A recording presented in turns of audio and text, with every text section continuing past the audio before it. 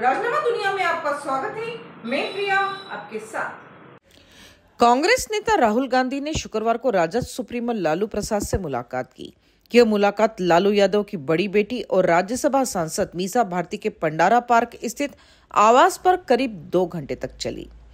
इस दौरान deputy CM Tejashwi Yadav और बिहार कांग्रेस के प्रदेश अध्यक्ष अखिलेश सिंह के साथ साथ कांग्रेस महासचिव केसी वेणुगोपाल भी मौजूद रहे। मोदी सरनेम से जुड़े मानहानि केस में राहुल गांधी को सुप्रीम कोर्ट से बड़ी राहत मिली है। कोर्ट से राहत मिलने के बाद राहुल गांधी और लालू यादव के बीच ये पहली मुलाकात है। सूत्रों के मुताबिक दोनों के बीच लोकसभा चुनाव को लेकर आगे की रणनीति बनाने पर भी चर्चा हुई। दोनों नेता के बीच ये मुलाकात मुंबई में होने वाली इंडिया की बैठक से पहले हुई। बताया जा रहा है कि मुलाकात के दौरान इंडिया के संयोजक बनाए जाने को लेकर भी बातचीत हुई। बिहार में अब तक मंत्रिमंडल का विस्तार नहीं हुआ है। कांग्रेस दो और मंत्री पद की मांग कर रही है। सूत्रों के मुताबिक कांग्रेस कोटे से दो मंत्री बनाए जाने पर भी बातचीत हुई।